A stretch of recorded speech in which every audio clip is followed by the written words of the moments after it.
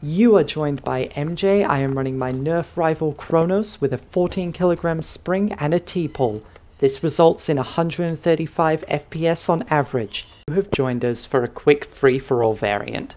Players have unlimited lives but must count to 30 when tagged. If another player taps you during this period, you immediately join their team. Otherwise, you respawn as normal. All players are equipped with pistols at a maximum of 200 FPS. Let's get some tags. Welcome to my team.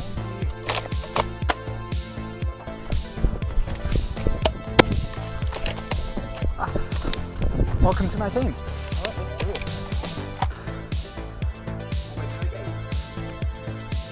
Oh.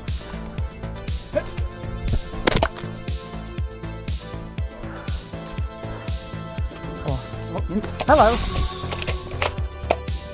Oh, I'm out. Reloading.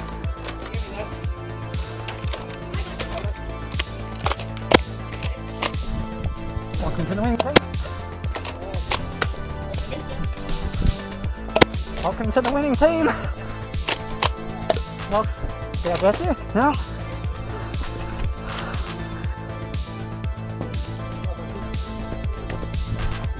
This cool little house, clear.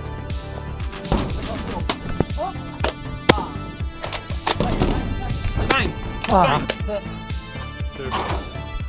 Tragedy strikes as I overextend, falling into a bait and switch and joining the enemy team as a result.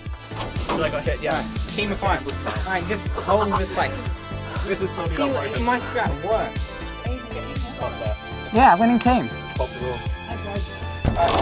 Ow, hit. Got cut. Thank you.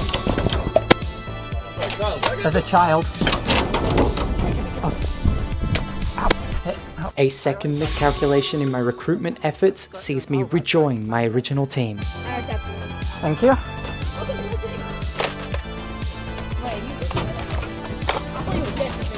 Oh yeah. This is an easy spawn breach. Just push in. As I turn to flank our opponents, our team rushes the building, victorious in their attempt. With everyone joining the winning team, the game concludes. While the Kronos modifications did lead to some jamming, it still served me well regardless of the distance. What would you name this game mode? Would you like to see more Nerf Rival in your local games? Let us know in the comments. Until next time, when we see you on the field.